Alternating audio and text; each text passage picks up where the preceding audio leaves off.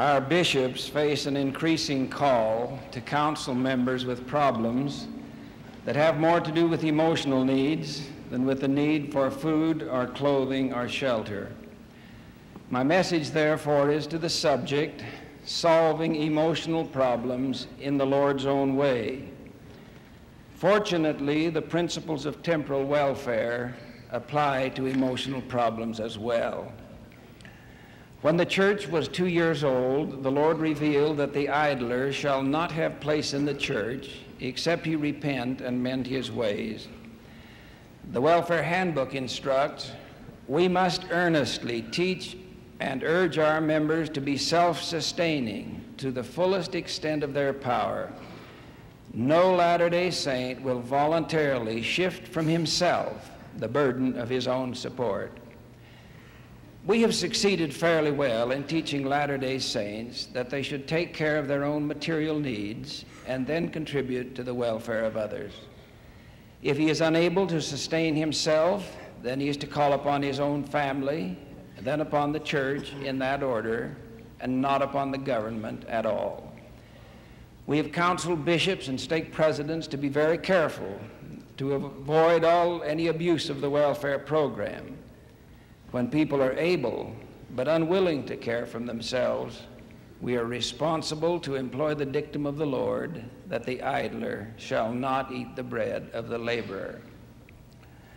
When the church welfare program was announced, the first presidency said, Our primary purpose was to set up, insofar as possible, a system under which the curse of idleness would be done away with, the evils of the dole abolished, and independence, industry, thrift, and self respect be once more established amongst our people.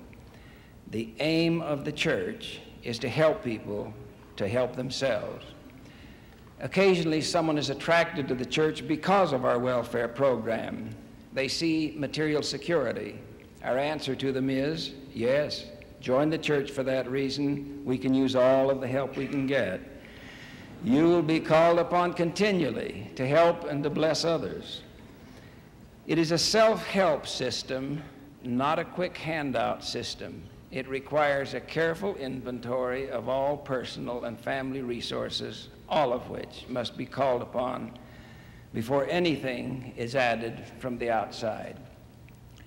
It is not an unkind or an unfeeling bishop who requires a member of the church to work to the fullest extent he can for what he receives from church welfare.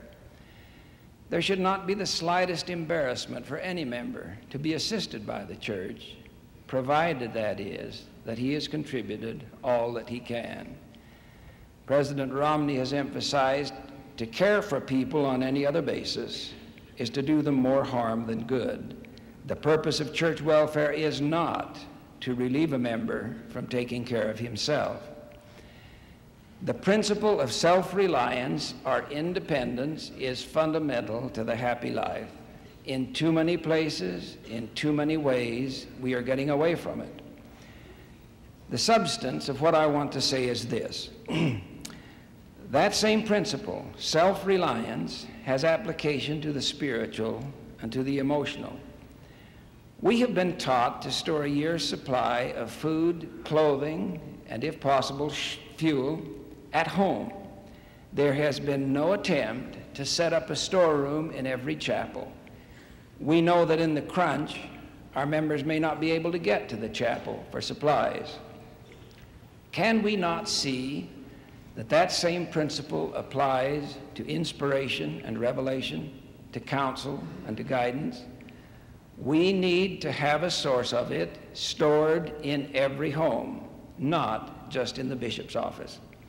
If we do not do that, we are quite as threatened spiritually as we should be were we to assume that the church should supply every material need. Unless we use care we are on the verge of doing to ourselves emotionally and therefore spiritually what we have been working so hard for generations to avoid materially. We seem to be developing an epidemic of counselitis. It drains spiritual strength from the church. much like the common cold, drains more strength from humanity than any other disease. That is very serious. There are many chronic cases. Individuals who endlessly seek counsel but do not follow the counsel that is given. On one hand, we counsel bishops to avoid abuses in welfare help. On the other hand, some bishops dole out counsel and advice without considering that the member should solve the problem himself. Speaking figuratively, many a bishop keeps on the corner of his desk a large stack of emotional order forms. When someone comes with a problem, the bishop, unfortunately, doles them out without thinking what he is doing to his people. We have become very anxious over the amount of counseling that we seem to need in the church. Our members are becoming dependent. We must not set up a network of counseling services without emphasizing at the same time the principle of emotional self reliance and individual independence. If we lose our emotional and spiritual independence, our self reliance, we can be weakened quite as much, perhaps even more, than when we become dependent materially. If we are not careful, we will lose the power of individual revelation. What the Lord said to Oliver Cowdery has great meaning for all of us. Behold, you have not understood. You have supposed that I would give it unto you when you took no thought, save it was to ask me. But behold, I say unto you that you must study it out in your mind. Then you must ask me if it be right. And if it is right, I will cause that your bosom shall burn within you. Therefore you will feel that it is right. But if it be not right, you shall have no such feelings, but shall have a stupor of thought that shall cause you to forget the thing that is wrong. Spiritual independence and self reliance is a sustaining power in the church. If we rob our members of that, how can they get revelation for themselves? How will they know that there is a prophet of God? How can they get answers to prayers? Or how can they know for sure themselves? It is not an unfeeling bishop who requires those coming to him for counsel to exhaust every personal and every family resource before helping them. Bishops be careful with your emotional order forms. Do not pass them out without having analyzed carefully the individual resources. Teach our members to follow proper channels in solving problems. It is not unusual for some to shop around to get advice from neighbors, friends from every direction, and then choose what they think is the best of it. That is a mistake. Some want to start with professional counselors, with psychologists, or go directly to the general authorities to begin with. The problems may need that kind of attention, but only after every personal and every family and every local resource has been exhausted. We mentioned that when a member has used all of his own resources, there should be no embarrassment in receiving welfare assistance. That principle holds true with emotional assistance as well. There may be a time when a deep seated emotional problem needs more than can be given by the family or the bishop or the stake president. In order to help with the very difficult problems, the church has established some counseling services. Those are in areas where our membership is large, but they are only for those who come through proper channels. The first category includes those services that ordinarily require a license. The licensed services include adoptions, the care of unwed mothers, the foster care of children, the Indian placement program. The first presidency has issued a letter giving instruction and caution with reference to these licensed services. Our purpose here will be to describe the clinical services. Clinical services are offered, again through proper channels only, in three successive steps. First, consultation. where a priesthood leader consults with an LDS social services representative about a serious problem. Only the priesthood leader meets with social services. The next step, evaluation, wherein a bishop and a member meet with social services to evaluate the problem. Ordinarily, this is one meeting only. Thereafter, the bishop continues to help the member. In difficult and persistent cases, there is therapy.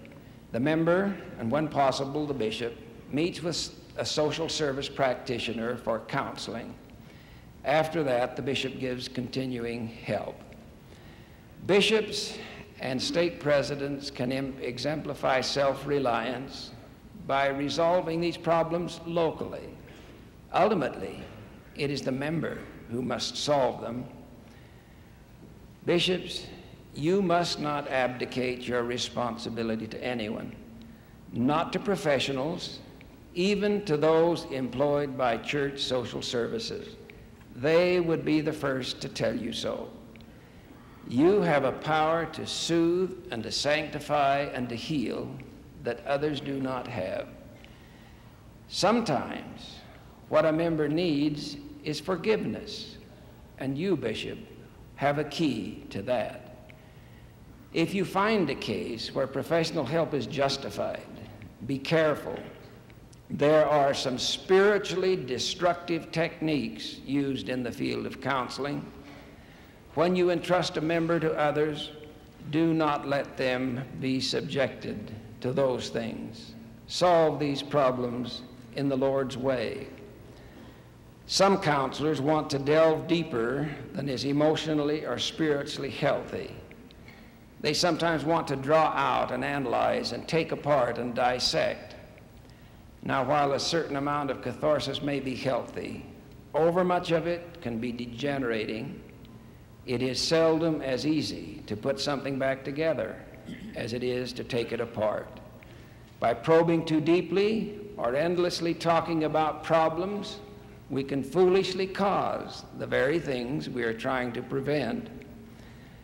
You probably know about the parents who said, Now, children, while we are gone, don't take the stool into the pantry and climb up to the second shelf and move the cracker box and get that sack of beans and put one up your nose, will you? there is a lesson in that. Now, Bishop, you may ask justifiably, how in the world can I ever accomplish my job as bishop and still counsel those who really need it? One stake president said to me, Bishops don't have time to counsel. With the load we're putting on them, we're killing our bishops off. While there's some truth in that, I sometimes think it's a case of suicide. our, our study indicates that it is usually in program administration, with all of the meetings, training sessions, and so on, the activities, that the bishop spends too much time.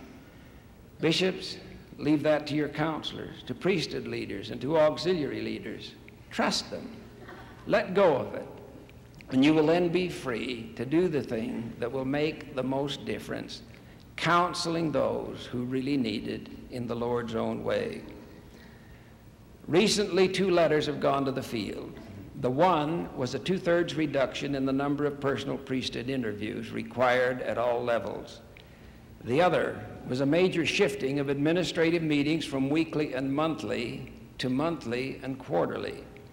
And we have every hope that other relief will be filtering down through channels. In the meantime, Bishop, you are in charge. Get the administrative and training part of your work in such efficient operations. Delegate it so that you will have time to counsel your people. Bishops keep constantly in mind that fathers are responsible to preside over their families. Sometimes, with all good intentions, we require so much of both the children and of the father that he is not able to do so. If my boy needs counseling, Bishop, it should be my responsibility first and yours second. If my boy needs recreation, Bishop, I should provide it first and you second. If my boy needs correction, that should be my responsibility first and yours second. If I am failing as a father, help me first and my family second. Do not be too quick to take over from me the job of raising my children. Do not be too quick to counsel them and solve all the problems. Get me involved. It is my ministry. We live in a day when the adversary stresses on every hand the philosophy of instant gratification. We seem to demand instant everything, including instant solutions to our problems. We are indoctrinated that somehow we should always be instantly, emotionally comfortable. When that is not so, some become anxious and all too frequently seek relief from overmuch counseling, from analysis, even from medication. It was meant to be that life would be a challenge, to suffer some anxiety, some depression, some disappointment, even some failure is normal. Teach our members that if they have a good miserable day once in a while or several in a row, to stand steady and face them. Things will straighten out. There is purpose in struggle in life. There's meaning in these words entitled The Lesson. Yes, my fretting, frowning child, I could cross the room to you more easily but I've already learned to walk, so I make you come to me. Let go now there. You see? Oh, remember this simple lesson, child. And when in later years you cry out with tight fists and tears, Oh, help me, God, please, just listen. And you'll hear a silent voice I would, child, I would, but it's you, not I who needs to try godhood. Bishop, those who come to you are children of God. Counsel them in the Lord's own way. Teach them to ponder in their minds, then to pray over their problems. Remember that soothing, calming effect of reading the Scriptures. And now a closing thought from the Scriptures. The prophet Alma faced a weightier problem than you, Bishop, will likely see in your ministry. Like you, he felt uncertain and went to Mosiah. Mosiah wisely turned the problem back to him, saying, Behold, I judge them not, therefore I deliver them into thy hands to be judged. And now the spirit of Alma was again troubled, and he went and inquired of the Lord what he should do concerning this matter, for he feared that he should do wrong in the sight of God. And it came to pass that after he had poured out his whole soul to God, the voice of the Lord came to him. That voice will speak to you, Bishop. That is your privilege. I bear witness of that for I know that he lives. May God bless you, Bishop, the inspired judge in Israel, and those who come to you as you counsel them in the Lord's own way. In the name of Jesus Christ, amen.